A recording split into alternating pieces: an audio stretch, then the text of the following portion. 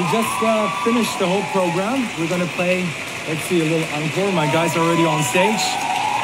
Let's do this.